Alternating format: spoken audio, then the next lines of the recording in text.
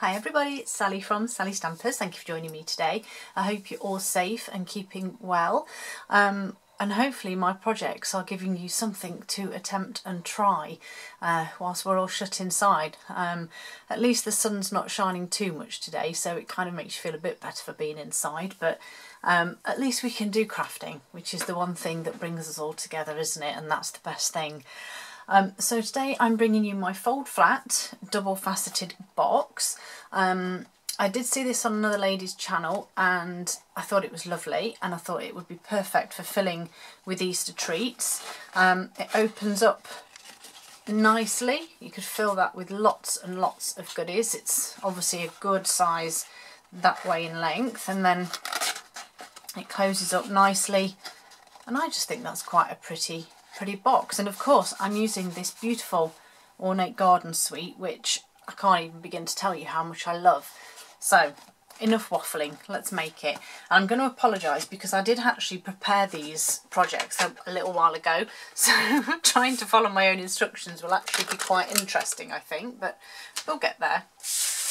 Okay, so you need a sheet of cardstock that unfortunately is going to be one of your 12 by 12 sheets and you need it to be 12 by 10 and a half which is 30 by 27 centimetres and we're going to go and score the long side at one inch one and a quarter inches and three which will be 2.5 3 and 7.5 centimetres we're then going to rotate completely so those score lines are now over to your right and we're going to repeat.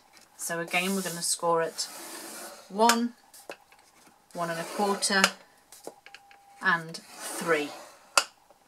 And again that's 2.5, 3 and 7.5. On the short side we're going to score at one and a half, five, six and a half, and 10 and in centimetres that will be 4, 12.5, 16.5 and 25 centimetres. Okay so what we're going to do here is we're going to fold that second score line okay so we're just going to fold that over and then we're going to make a little notch at three quarters of an inch and five and three quarters of an inch. So when you open it up, you have a mark there and there. Then we're going to flip the card over so you now have the wrong side of your score lines and we're going to repeat. And the reason we're doing it this way is because obviously it's easier to measure it this way because we have this extra bit here and it all becomes a bit technical. So we're going to notch again at three quarters and five and three quarters. And in centimetres that will be 2 and 14.5 okay? So let's move my scoring board out of the way. And then we're simply going to fold and burnish these score lines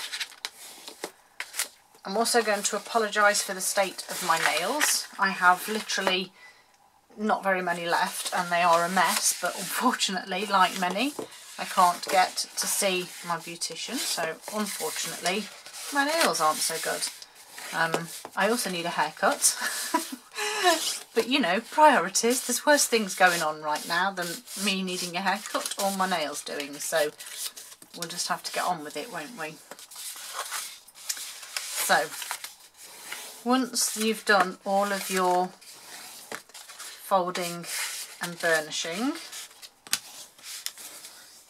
we're then going to grab a ruler and where, let's turn it back round the correct way, where you made your little notches, you're going to score from the notch to the corner. So we're making that triangle shape in there and it's in that little square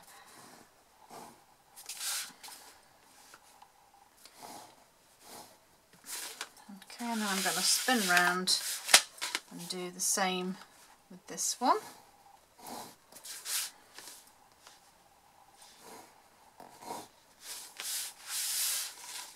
Nearly lost where I was with it then.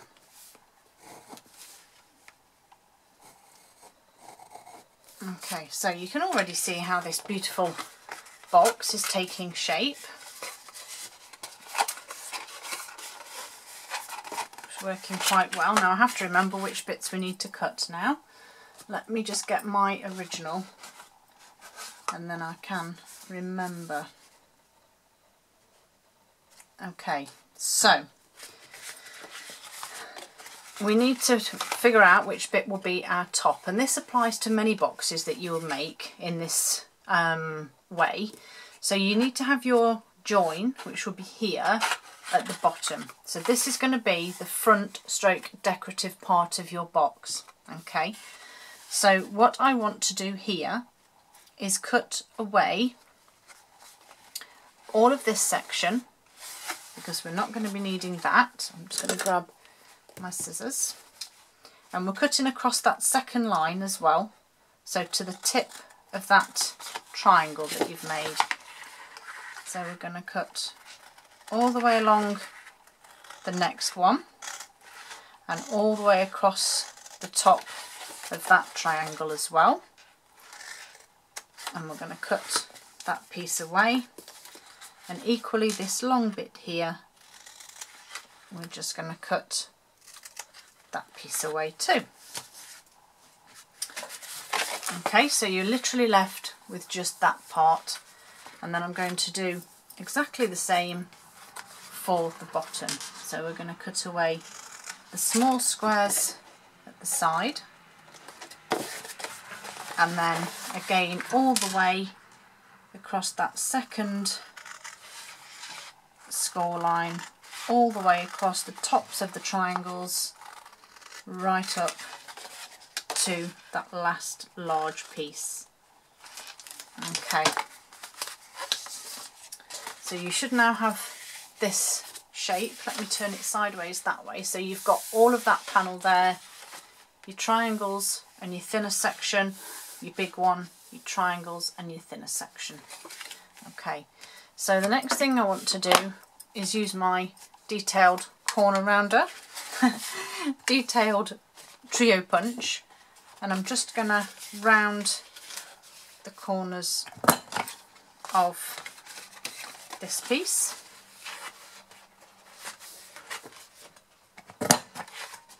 And again this one. So I'm doing both ends. And as you can see I'm just tucking the rest of the card under to keep it out of the way that bit done. So we now have rounded corners. Then I want to add my DSP. So I have two large pieces that are five and three quarters by three and a quarter, which is eight by 14.5 centimetres.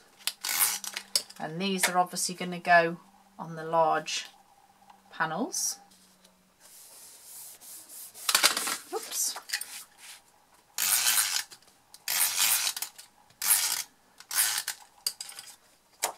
On that one there.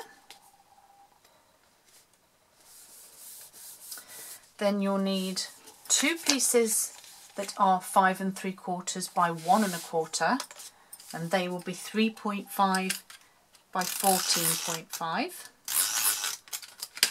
and they will go on this piece and I've just matched that DSP up and I actually had no intention of that. How amazing is that? I bet this piece doesn't do the same. No. Oh, nearly. Nearly maybe. and this one will go, whoops, on here, which I just can't get to sit straight. There we go. And then I need four pieces that are three and a quarter by one and a half, which is eight by four centimetres and these are going on these panels up here.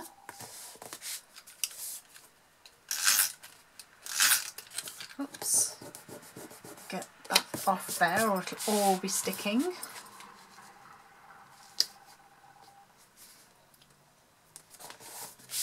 And then my last two pieces, oops,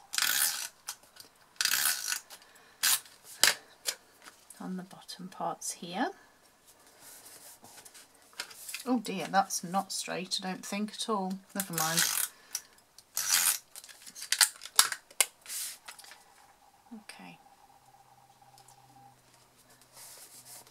Then I'm going to grab my old favourite, my old loyal and tape, which is going to go all the way along this piece.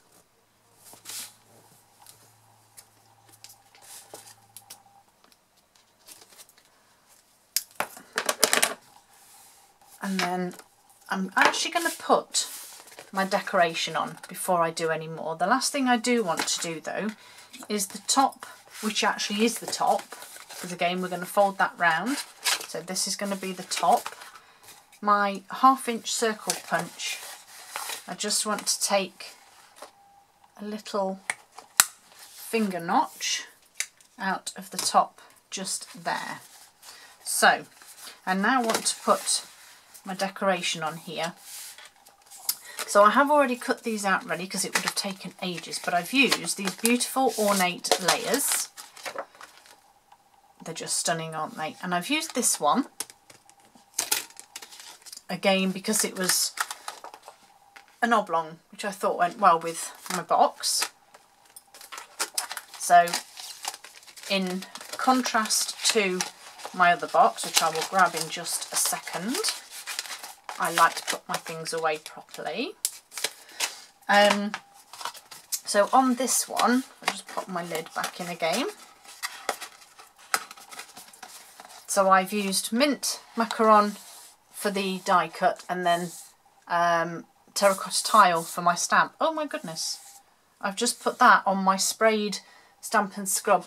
And look what's happened. Can you see? Look. it's gone all funny. Oh well, that'll teach me.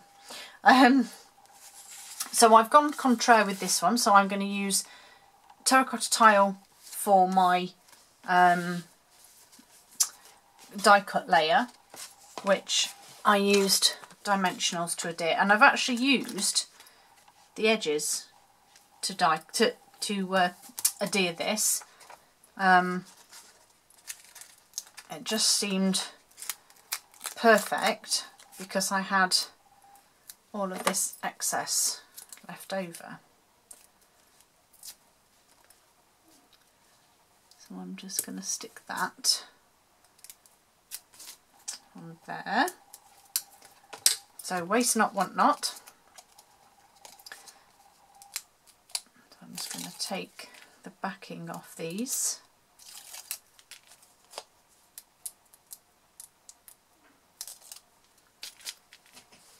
That's those bits done. And then this is going to sit just on the centre just there. And then I have my Whisper White that I just sort of measured um, the die cut and decided how big I wanted that to be. So obviously if you're using a different shape die cut. And then I actually used my corner rounder and I just took oops, I just took the opposites, opposite corners away.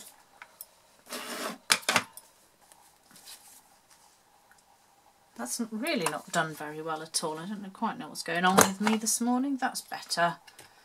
That one's not very smart, is it? Let's just give it a tiny little trim. There we go and then I have my mint macaron and my ornate thanks. And I went with the large thank you which is just here. And I'm using my H block for this because it fits just perfect. And then I really need to re-ink some of my pads and then this simply is just stamped onto that Whisper White. Just give that a quick clean. And then dimensionals on the back of this one. Oops.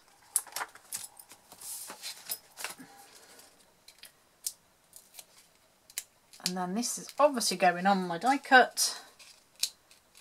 And you can already see that this is such a lovely lovely little box for any gift really. And then the last bit is these gorgeous gilded gems which you can see I've already used an absolute ton of because I love them. So I'm going to use a couple of the large ones just down here. And then a medium one just there and a small one just there. And then the last little bits let's take the backing off this tear and tape. Fold the box over and then it is just simply a case of pushing those triangular bits that we've done. And this will be the bottom. Now you may just need to give this a little tiny curl if you like just to encourage it to slide in there. You may also need to trim it slightly if like me you don't quite cut down that score line properly. There we go. That's better. And like I said, you just need to give it a gentle bit of encouragement. There we go. So that's the bottom, lovely and tightly tucked in. And then the top I can already see I'm going to have the same problem here. What I'm referring to is this bit, where my score is. Can you see? You can see just a little extra there, and that's literally all I'm taking off, is this the crease from the score. That's it. Just a tiny, tiny little piece Let's do that side too, just give it a nice neat finish. And then this again, just pushing those triangles in and then we just tuck the lid in. Obviously putting your goodies in first. You sort of have to encourage it because it obviously wants to go the wrong way. There we go. And there we have it. And I've done mine. Oh no, I haven't. Back to front. Completely back to front, but it doesn't matter. So this one opens that way, this one opens that way. but they're the same thing, aren't they? How pretty are they? Hope you like them. Don't forget to come back and see what other projects I have next week. See you again soon. Bye.